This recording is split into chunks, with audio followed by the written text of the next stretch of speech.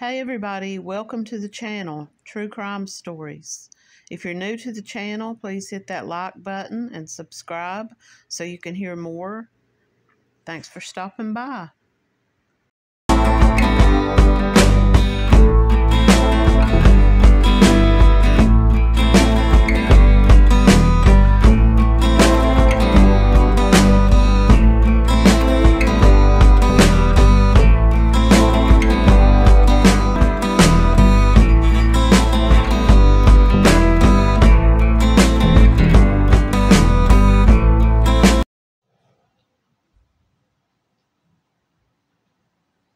I wanted to share something that I received in an email. Now, I don't know if this is a legit email and if this person that emailed me is really the family member of this missing person. I am trusting that it is, but regardless, this is just something that I wanted to share. This is on the uh, story that I did on the disappearance of Rossana Miliani from Florida who came to North Carolina to Bryson City, which is in the Great Smoky Mountains, and she disappeared. It was believed, and some people still believe, that she was a victim of the Appalachian Trail serial killer, uh, Gary Hilton. Now, whether or not she really was, there's been no proof of that. He has denied it. He took a lie detector test, and they said that there was no deception, but keep in mind this is a sociopath who could possibly beat a lie detector. But regardless, I wanted to share this email. I'm not going to say who the person is, but I will just say that they sent me this email saying that they were a family member of Rossana. There are some known facts about the last day she was seen in Bryson City. First, she visited a local pawn shop and asked about pawning a computer and a ring.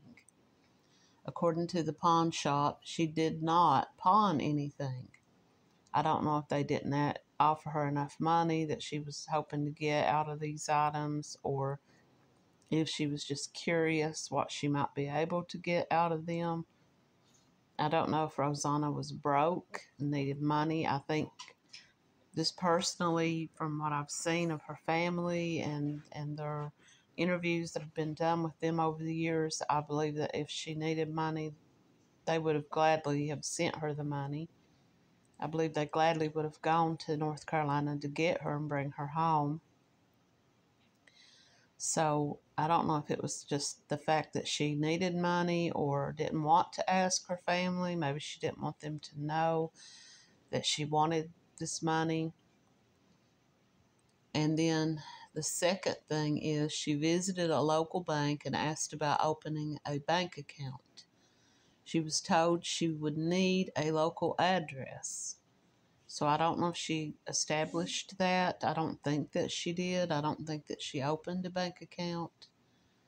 Next, she visited a local beauty salon and um, she I guess while she was there, she got her hair trimmed. And while she was there, she asked about a place to store her belongings. She was told about a local storage place across from the beauty shop, and she went there. The owner of the place took her in his car to another storage.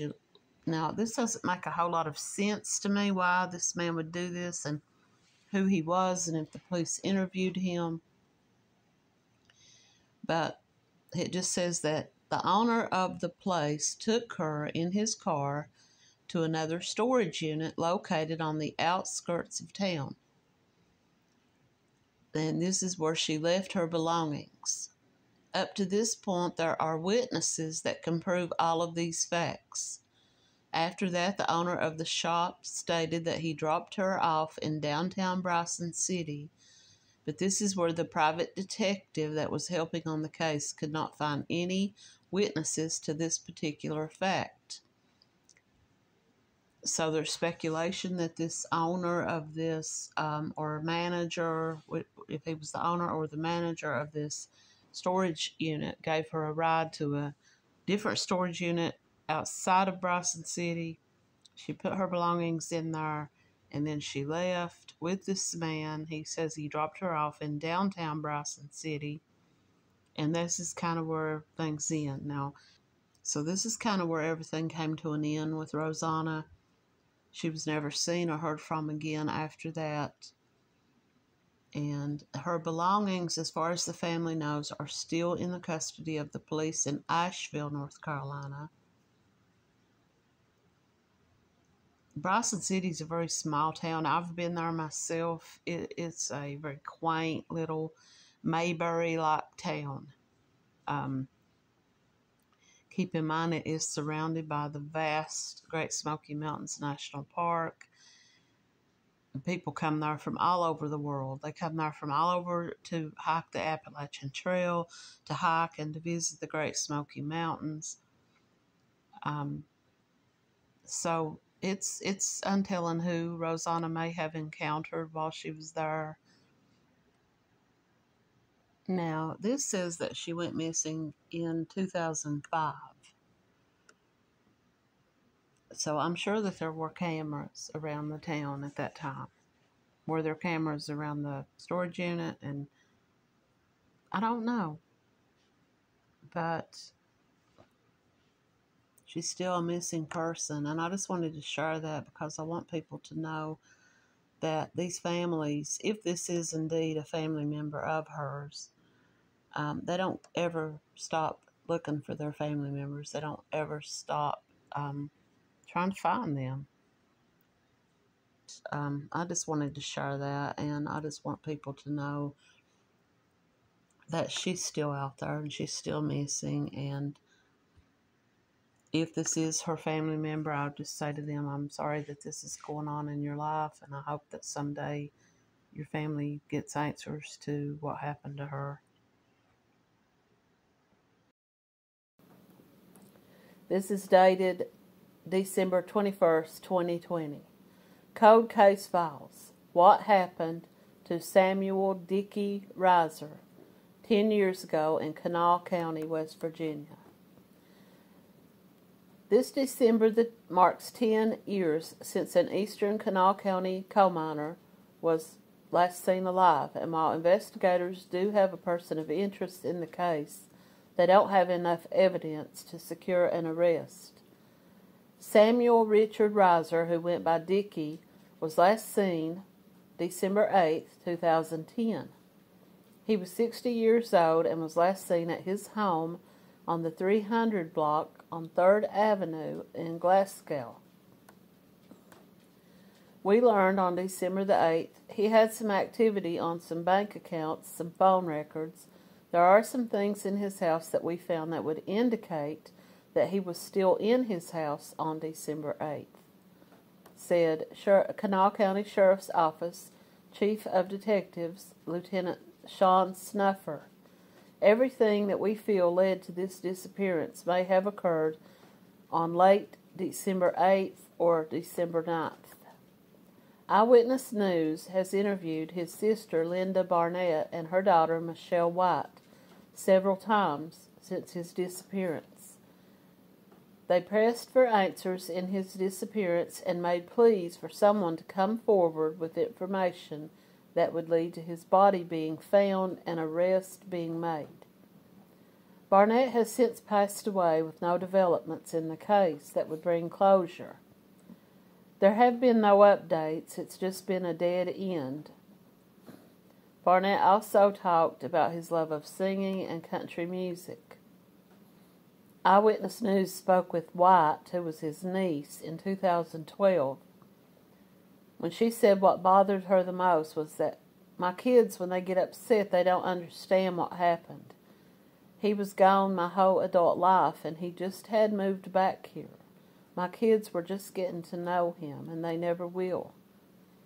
To this day, his body has not been found. It's a mystery that only haunts this family. Right now, we have exhausted all leads in this case. We currently have some individuals of interest we are still looking at, but as of right now, this is all, said Lieutenant, uh, Lieutenant Snuffer. The person of interest in the case has never been publicly identified.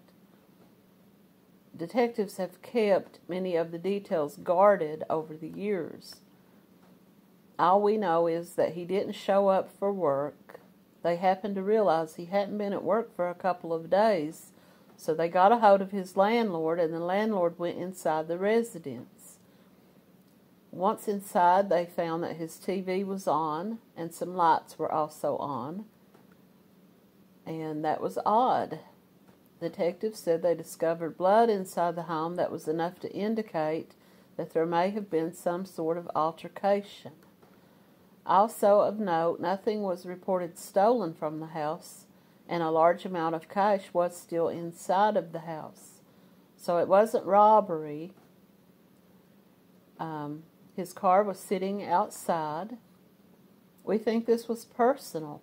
We think this was a crime of some type of passion or some type of personal altercation that happened.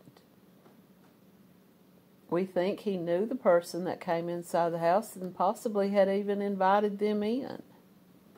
Mo- no motive um, has been released. We know that he was involved with a female in the community, and we have looked into that. We don't feel that he was involved in anything illegal. He was not known to have been involved in any kind of narcotics or anything of that nature. Investigators say that their leads have been exhausted we have got numerous leads.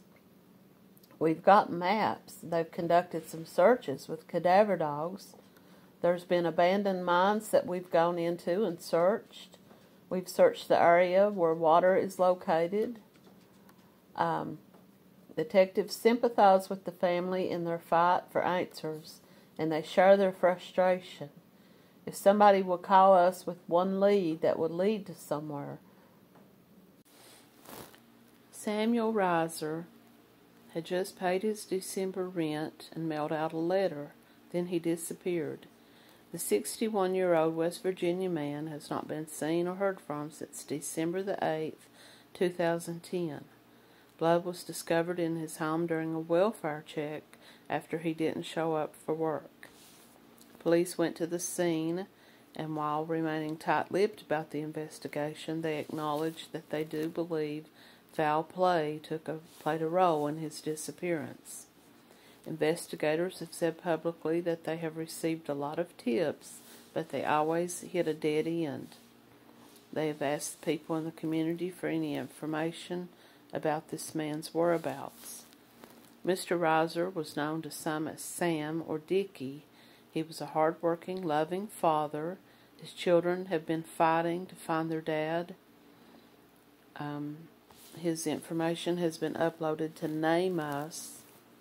He was a white male, six foot to six foot two inches tall, and around 200 pounds. He was last seen in Kanawha County, West Virginia. He went missing from his residence on December the 8th after 5 p.m. He had gray hair and he had a full head of hair, a full mustache, and blue eyes. Um, doesn't say he had any tattoos. He was possibly wearing a blue jean jacket with a gray hoodie. He wore metal rimmed eyeglasses and was possibly wearing white tennis shoes with blue and orange. And he did go missing under mysterious circumstances. Said that her father would not deliberately have gone missing or anything like that because he was looking forward to seeing her graduate from military school. And um, deputies say inside his home it was disheveled along with what appeared to be blood spots on the floor. I think someone was hired to kill him, says his son. The family is helplessly numb, knowing the case is still unsolved. Why would someone be hired to kill this man? What would be the end game here? Um, life insurance money? that they would automatically look at family members if that were the case, or the ex wife, or the wife. I don't know if they were divorced or not. They mentioned that he was known to be seeing a woman. Is it possible that she was at his home that night and someone was targeting him because of her? Could it have been her ex husband or a boyfriend or someone? Who followed her there, waited for her to leave, and then went inside and confronted him. Um, that's just a scenario, you know. This is from the Kanawha County Sheriff's Office. Samuel Dickey Riser went to work Wednesday, December the 8th, 2010, and returned home. And um, Saturday, December 11, 2010, the family received a call from his employer that he had not been to work since the 8th. They went to his house. His car was there. His door was locked. The TV was on, but he was gone. They say that he was that there was blood in the floor. I, am assuming that they took the blood and tested it to see if it belonged to him. It was there anyone else's blood there? They said that the police had been guarded with giving out any information. So if that's the case, maybe they're holding on to that. But if there was someone else's blood there, I'm sure they would have entered it into CODIS to check to see if anyone, you know, had a record. Is it possible, since his door was locked and his car was there, that he left and got into a car with someone else? Is it possible? They said that there was enough blood there for the police to believe that something like an altercation had taken place.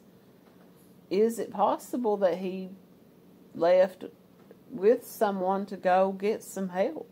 But instead of getting help, he was taken someplace else. You know, those are just some possibilities. Foul play is suspected. If you think you may have seen him or know anything about this case, please contact Detective D.H. Duff of the Kanawha County Sheriff's Office or David Duff at K cso.us.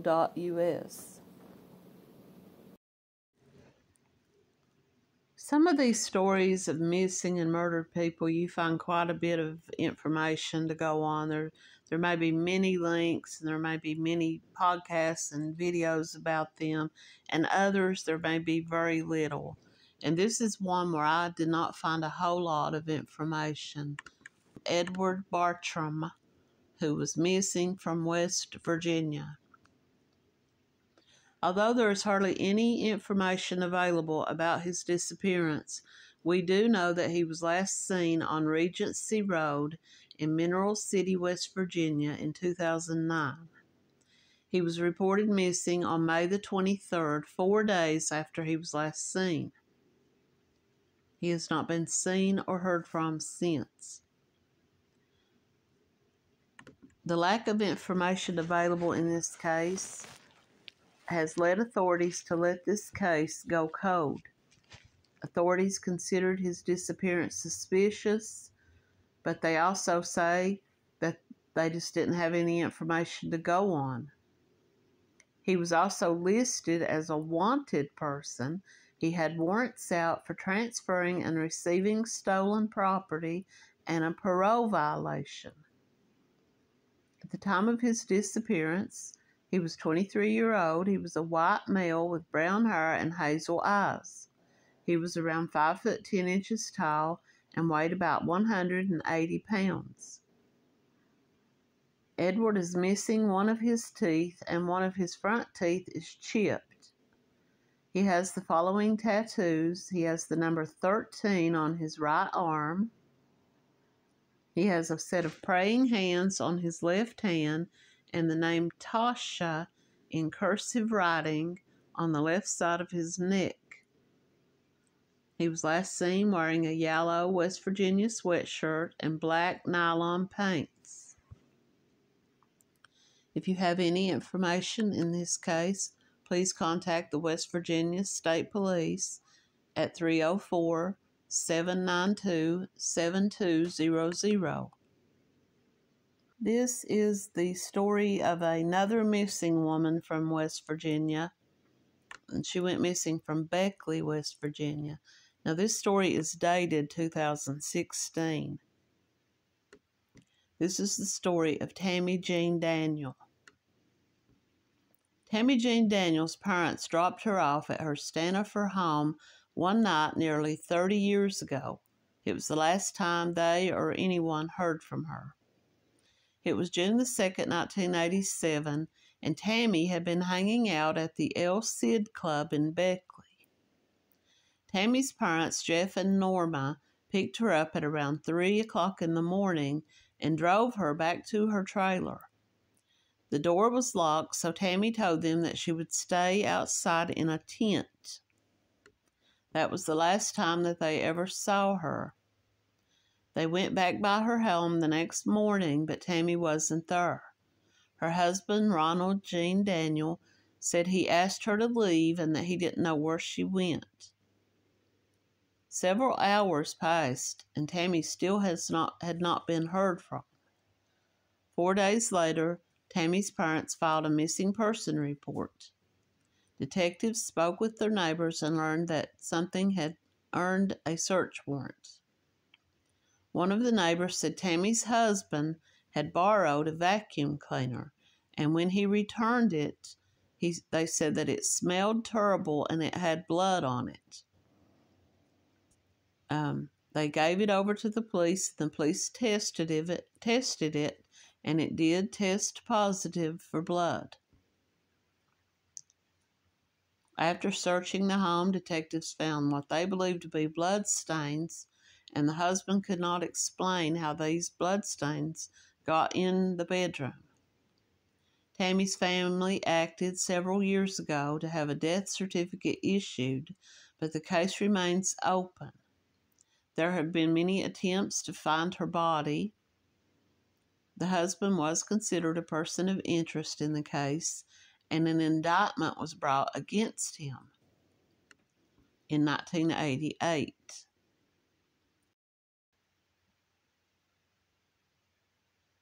So they're saying that the man that they had on their staff or who they used in the lab, the man named Fred Zain, he was a body fluid scientist. Now he worked on this case, and it, and later he was um, found to be using flawed methods. So they're saying that he falsified lab results and reported impossible results.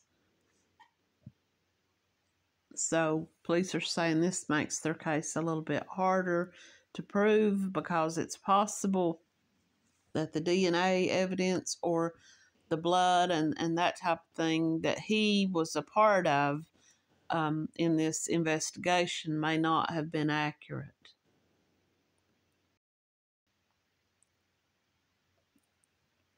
Um, Tammy Daniel was last seen June 2nd, 1987.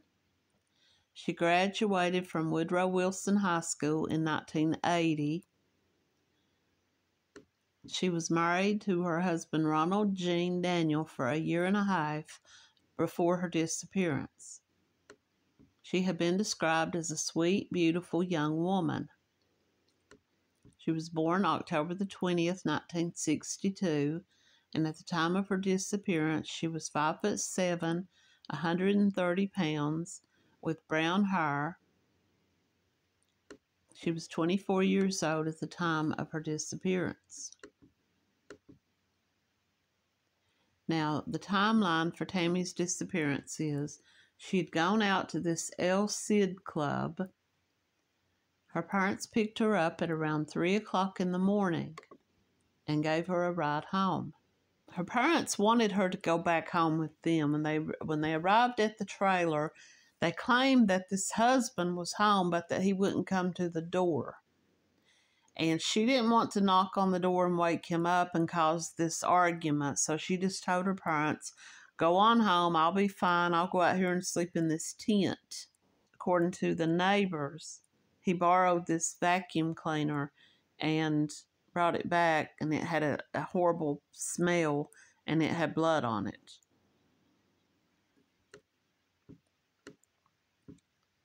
So, like, like most mothers, Norma Hensdale remembers the first time she saw her daughter. On October the 15th, 1962, The baby was born, and she was a beautiful blue eyed baby girl. It was an especially hard labor. Her family first thought to call her Robin, but then they thought about that and decided that they would name her Tammy. Her mother says she also remembers the last time she ever saw her daughter, which was June the 2nd, 1987. Tammy had been married to her husband for just a little over a year and a half. They were living with they were living in a mobile home in Stanaford, West Virginia. And once again, her mother said, Please just come home with us. She said, No, I'll be okay. The mother describes that the trailer was dark, there were no lights on inside. And her mother said, I will go knock on the door and wake Jean up. And her daughter said, You better not. She said, I'll just sleep in the tent. So by her saying, You better not, she knew that her husband had some violent tendencies or was quick to anger, maybe, and she just didn't want to deal with him. As they drove away, her mother said she looked back at Tammy, and Tammy was sitting on the trailer steps. She hadn't gone to get into a tent. She was still sitting outside the door of the trailer, and she was wearing a black leather jacket, a black t shirt, and blue jeans. It was the last time that she would ever see her daughter. She says, We drove up the road out of sight, and I told him to stop the truck. I was going to get out and walk back. She said uh, she knew that she wouldn't be able to sleep when she got home that night from worrying that her daughter was outside sleeping in a tent.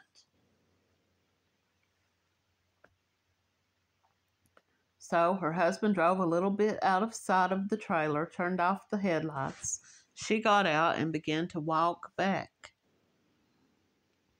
She said, As I got closer to the trailer, I could hear what sounded like the storm door closing. She said, I looked at the trailer. I looked all around the outside of the trailer, but Tammy was not there. So she just assumed that she went on inside. This made her feel a little bit more at ease, knowing that her daughter was not outside sleeping in the yard and she went ahead and went back to the truck and she and her husband went ahead and returned home that night. And she says that you know this has haunted her because she knows that whatever happened to her daughter happened probably very soon after they left. According to police tammy has been declared legally dead but they are still searching for her body. Her husband was indicted for murder in the months following her disappearance, but the indictment was later dismissed due to insufficient evidence.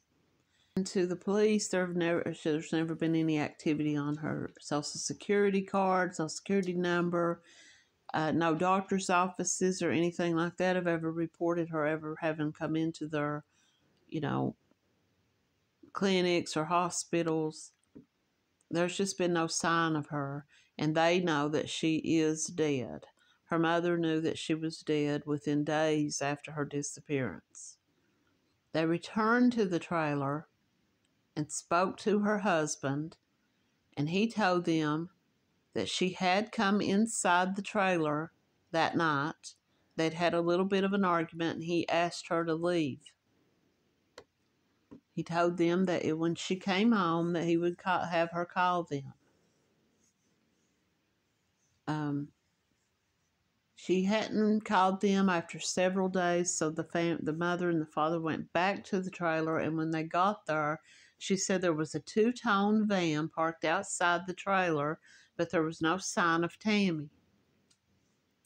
According to police, a couple who lived next door reported that he the husband, had borrowed their vacuum cleaner three days after Tammy's disappearance. Um, he brought it back, and when they tried to use the vacuum cleaner, they noticed this horrible smell coming out of it. And they took it apart and got to looking, and she said it was just covered in this sticky substance.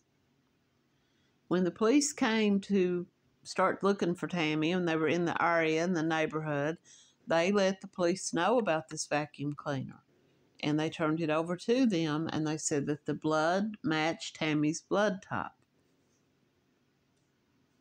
They obtained a search warrant for the trailer, but everything in the trailer had been removed except for a couch.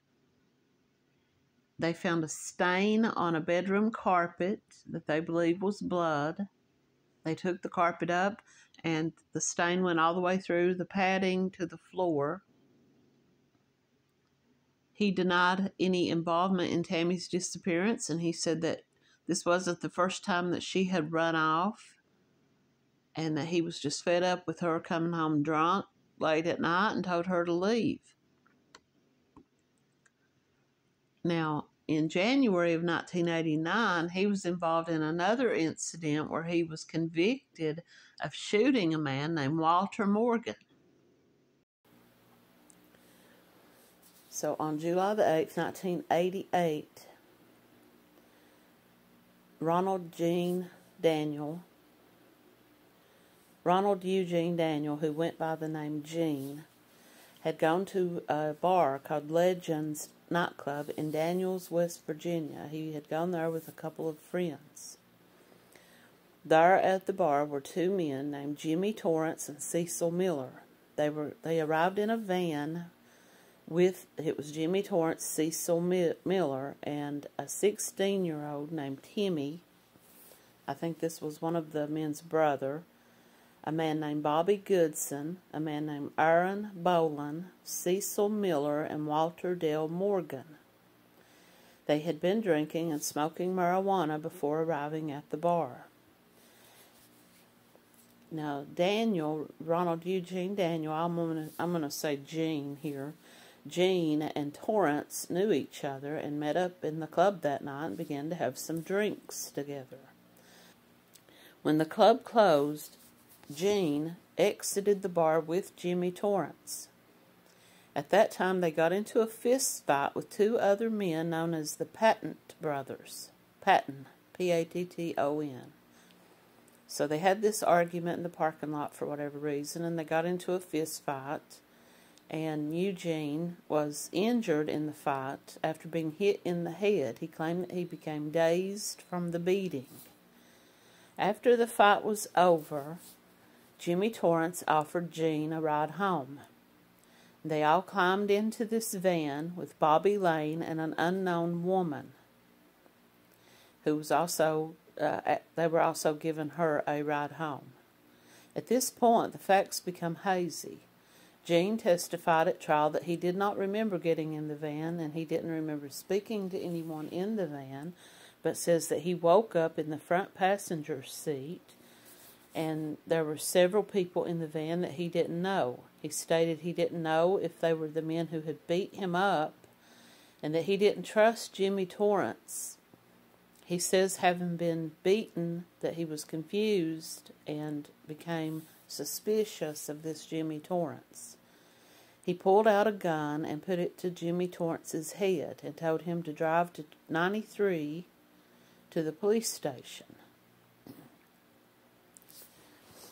And he claims that several people were coming towards him in a threatening manner in the van and that he aimed his gun allegedly fired three shots to try to scare them away. Two of the three shots hit walter morgan in the chest and morgan died as a result of these shots. The third bullet hit cecil miller in the arm and it was not a serious injury the van came to a stop and the remaining passengers exited the van. This Cecil Miller um, quickly slipped out after the shots were fired. Sometime after the van left the scene, an ambulance was called for Morgan, but he died shortly after they arrived. Let me reread that just to make sure I got that right. Two of the three shots hit Walter Morgan in the chest. Morgan later died. The third bullet hit Cecil Miller in the arm, which was not a serious injury. The van came to a stop and all of the passengers exited except Miller. Sometime after the van left the scene, an ambulance was called for Morgan, who died shortly after they arrived. Um, Daniel then again put the gun to Jimmy Torrance's head and told him to drive to a police station. However, he directed Torrance to drive the opposite direction. Jimmy Torrance eventually stopped the van upon seeing a police cruiser sitting beside the road. Daniel exited the van. This is Gene Daniel exited the van with the gun still to Jimmy Torrance's head. However, um, he handed the gun over to the police and told them that he had been attacked. The officer searched the van and found uh, marijuana and a bag of LSD.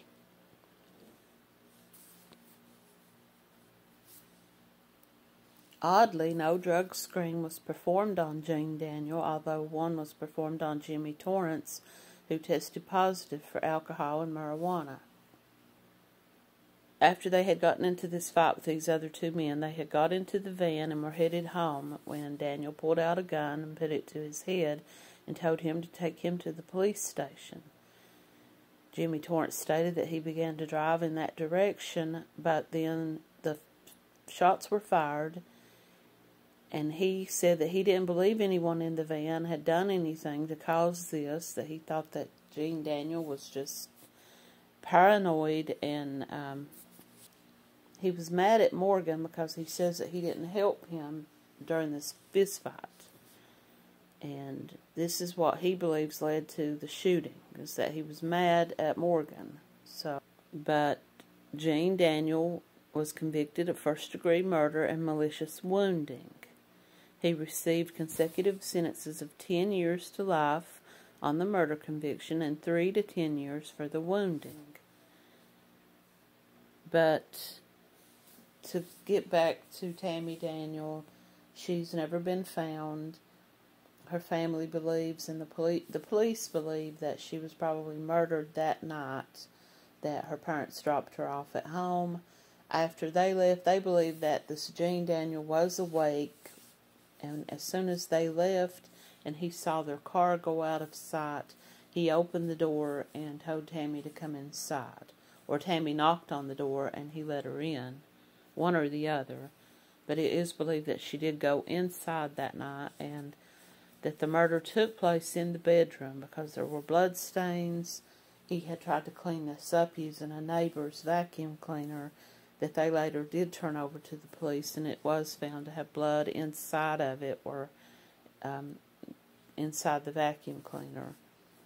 They did arrest him and charge him with her murder, but they couldn't make it stick, and so to this day, Tammy Daniel remains a missing person. If anyone has any information about Tammy Daniel's disappearance, you may contact the Raleigh County Sheriff's Office at 304 255 9300. Thanks for watching.